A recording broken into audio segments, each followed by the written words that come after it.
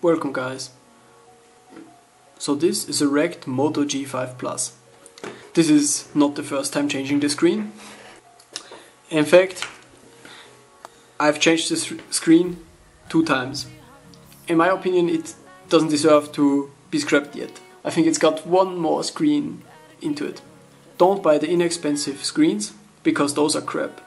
This is the replacement part and as you can see it is the same size. If you do this the first time on your phone you will have to use additional heat to get the adhesive going. In my case there are just some strips in since I already did this two times so I don't have to do this, I just have to find a spot and pull a little bit up and then slide this in.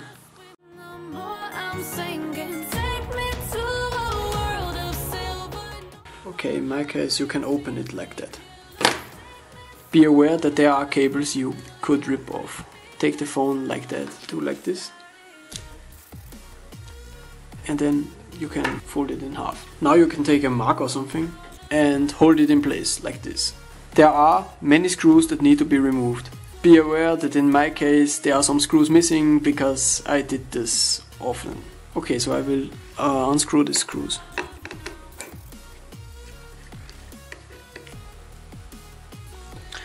It is quite good to remember where the screws went. There are some smaller screws that don't fit into the larger holes, so you can use that if you don't. I usually YOLO it, so no big problems there.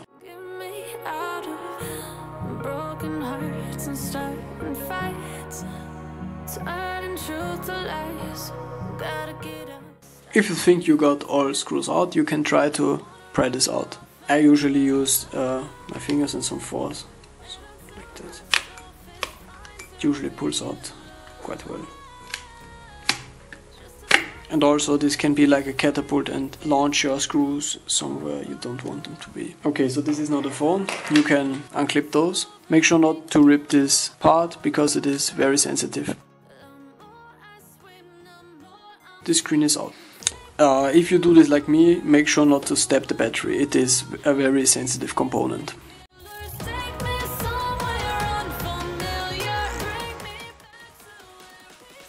You can remove the dirt from the fingerprint reader.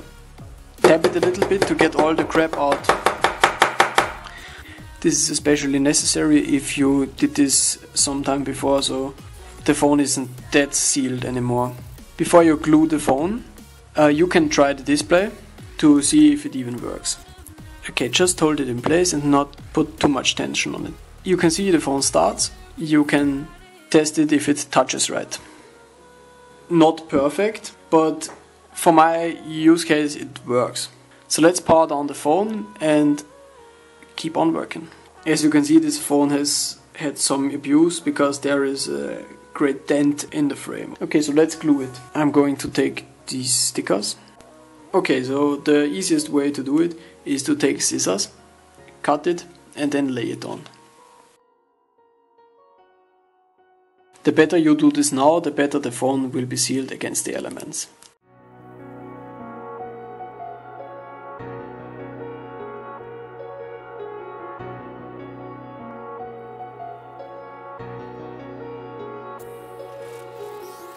Okay, I'm going to connect the screen. Let's put this plastic back on, fold it in like that.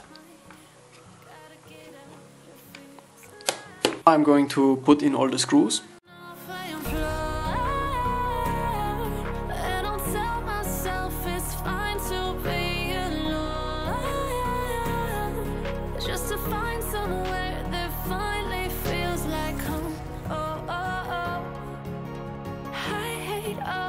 Oh, oh, oh, so as you can see I've lost a screw, but not this time. I Maybe when I did it the first time I lost it. Not a huge deal. I'm now going to put on some more adhesive and then I'm going to put the phone back into completion.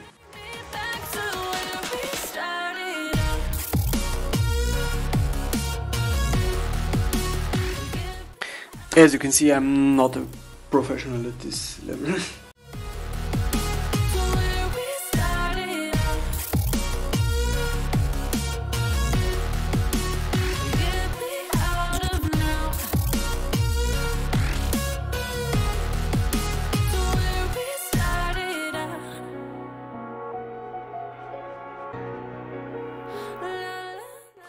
okay I'm going to do some double layering